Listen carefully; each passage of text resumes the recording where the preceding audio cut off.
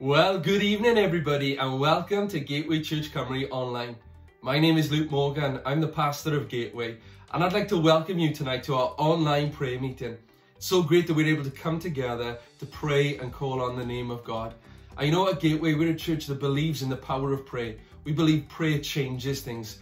And I want to encourage you tonight if you have a prayer request, if you have a need, then please send it in to us. You can do that by posting it in the comments on whatever social media platform you're watching this on, or you can send it to us on our website, gatewaychurchcymru.co.uk forward slash prayer requests. We'd love to pray for you and believe for God to move in your life.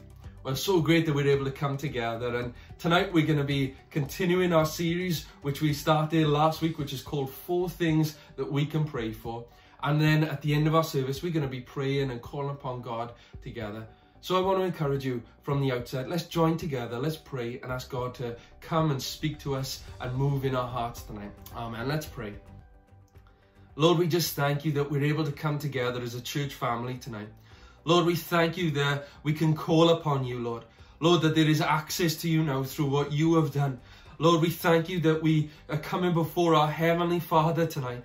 Lord, you are a Father who loves us and cares for us and is concerned about every area of our lives. And so, Lord, I just pray tonight, would you meet needs? Would you answer prayers? Lord Jesus, and we ask this, Lord, so that our lives might just bring glory and honor to your name, that we might point people to you and tell them of what you have done. Lord, bring encouragement to those who need encouragement. Those who need healing, bring healing tonight. Those who need comfort, I pray, would you minister your comfort tonight? Lord, we just look to you. Lord, we give you praise for all that you have done and for who you are. And we ask all this in Jesus' name. Amen. Well, tonight we're going to continue our series that we started last week, which is called Four Things We Can Pray For. Last week we looked at the first thing we should pray for, and that is the peace of God. And tonight we're going to look at the second thing which we can pray for, which is a godly perspective. The second thing is perspective. Now, something powerful happens and takes place when we pray.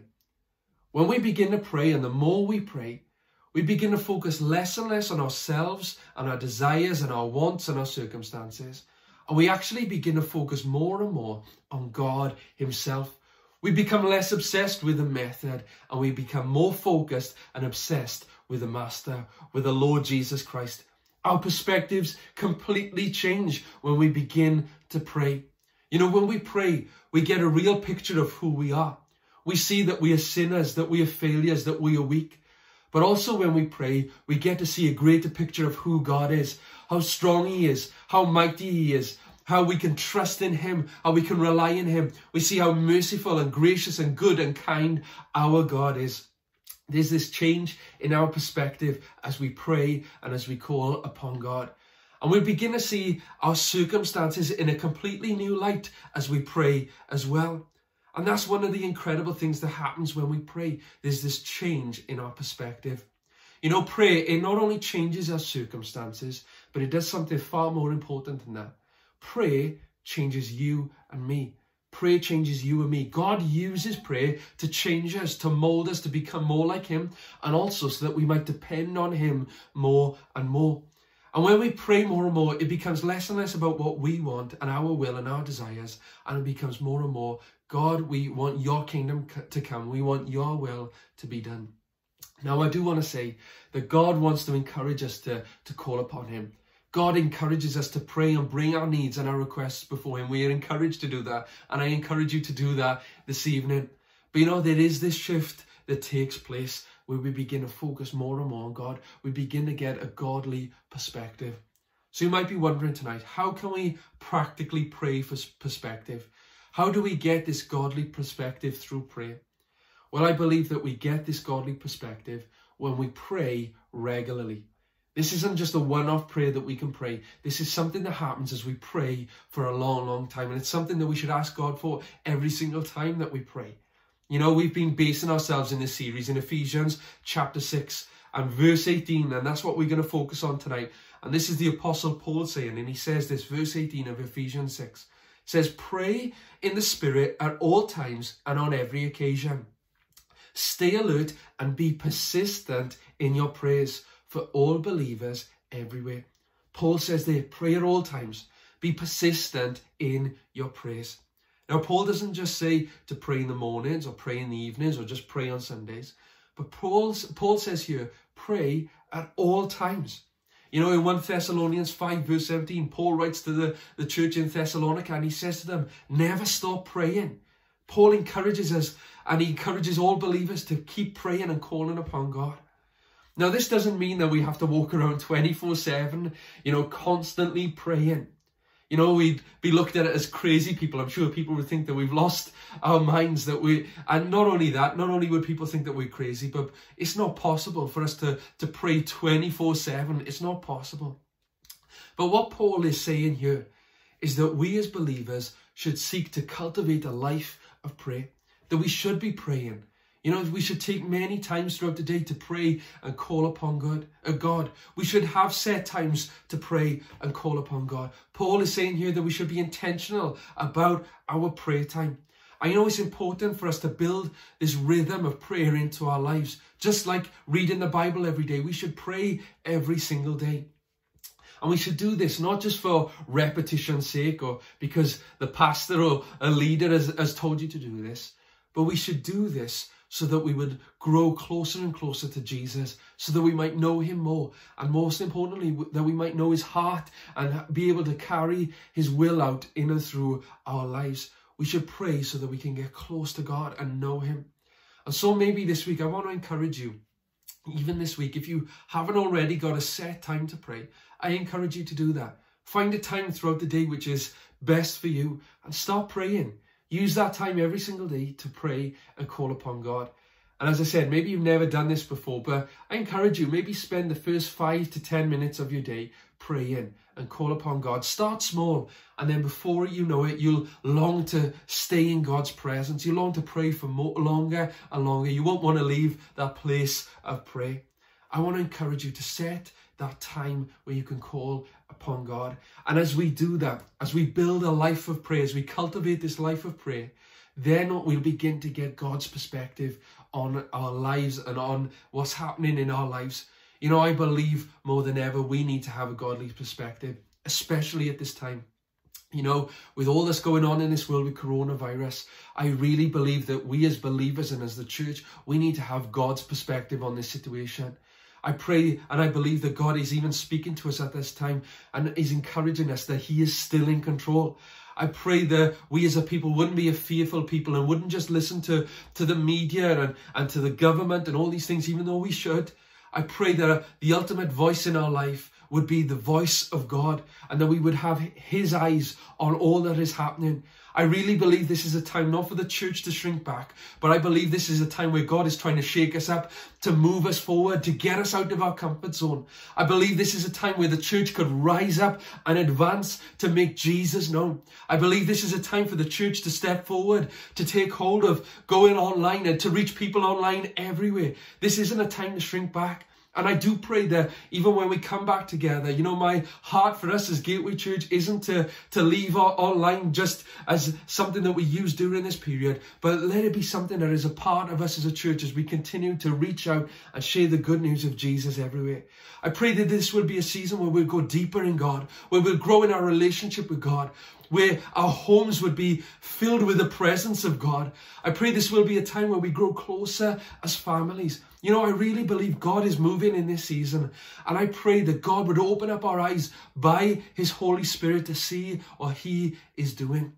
You know, I love what Robert Morris, the pastor of Gateway Church in America, he says this. He says the Holy Spirit wants to pull back the curtains so that you begin to see God more clearly. God wants to open up our eyes. God wants us to have his, his eyes and see what he is doing in and through our lives. So I want to encourage you to pray for a godly perspective. Ask God, God, what is it you are doing in my life? God, what are you trying to work out? Let me surrender to you. Let me follow you. Let us put our trust in him. I encourage you, even tonight, let's be a people who pray for God's perspective on things because that is what we want in our lives. Let's pray that so that we would be bring glory and honor to Jesus in and through our lives. Amen. Well, right now we're going to come to a, a time of prayer. And the first thing that we're going to do before we begin to pray for all the requests that have come in, we're going to actually take 30 seconds tonight, as we did last week, And I want to encourage you to take these 30 seconds just to begin praying for God's perspective. Ask Him to open up your eyes, your spiritual eyes, so that you might see how He sees. Ask Him to, to enable you to walk by faith and not by sight. Let's be a people who call upon God. So please, let's just take these 30 seconds and ask Him to open up our eyes that we might have a godly perspective. And then we're going to pray for all these other needs. Amen.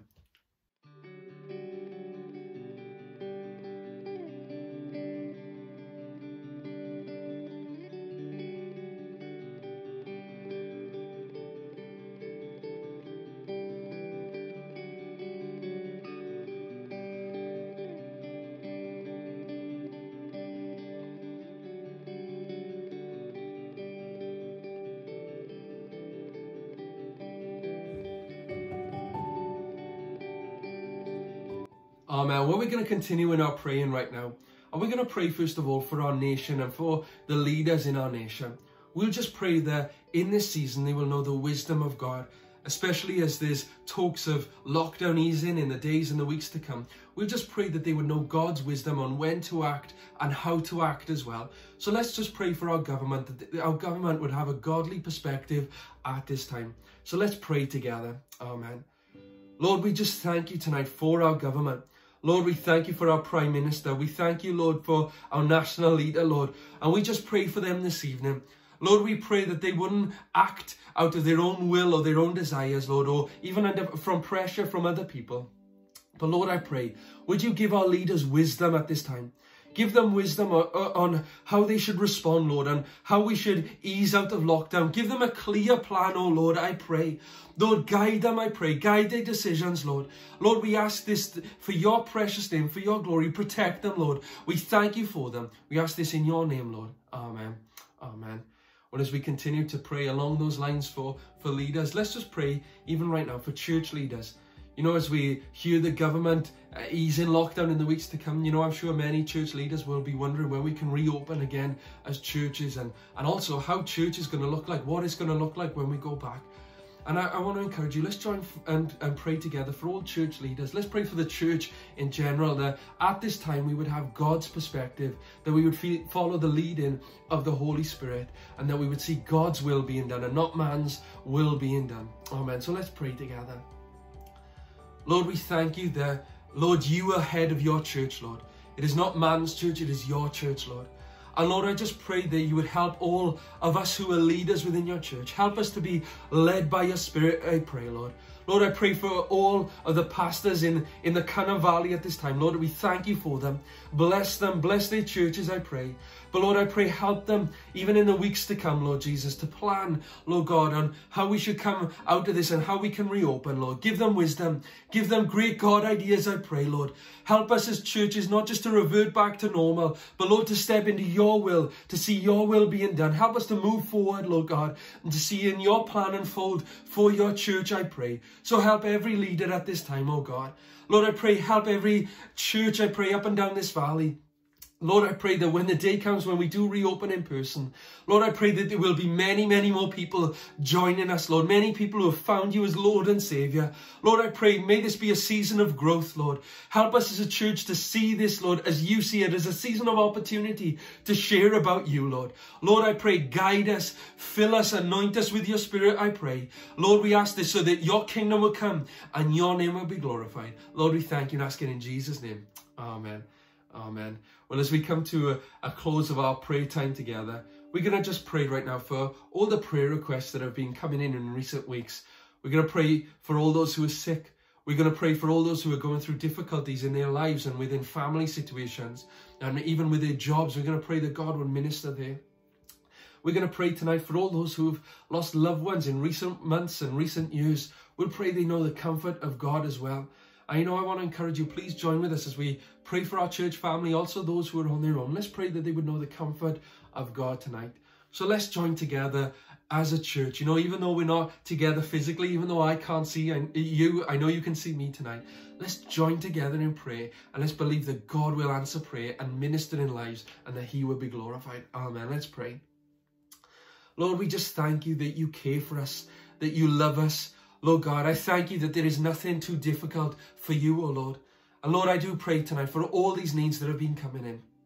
Lord, I just pray, would you minister? Would you bring breakthrough, oh God? Lord, I pray for those who are struggling at this time. Lord, I pray, bring strength. Lord, those who are feeling lost, Lord God, those who are really not coping at this time, may they know your strength, may they know your guidance, may they know your presence. Lord, I do pray for all those who have lost loved ones in recent weeks, recent months, and recent years. Lord, we think of all those in our church family, Lord, as well, Lord. Lord, we pray tonight for Marilyn, Lord. Lord, we do pray tonight for Olive, Lord, for Irene, Lord, for Lydia, for my Lord. I pray just be with these who've lost loved ones in recent weeks and months, Lord God, and years.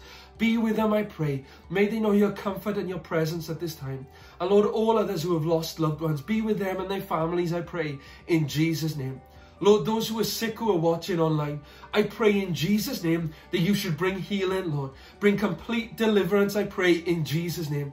Lord, we pray for all those in our church family who are sick and who are struggling, Lord God. Minister, I pray. May they know your healing touch even right now, Lord. Lord, I thank you that you are not confined to a church building, but Lord, you are able to minister and bring healing wherever we are. So I pray, bring healing in Jesus' name. Lord, those who are struggling at this time, maybe with a family situation, Lord, I pray bring restoration, bring healing, Lord God, bring guidance, I pray, in Jesus' name.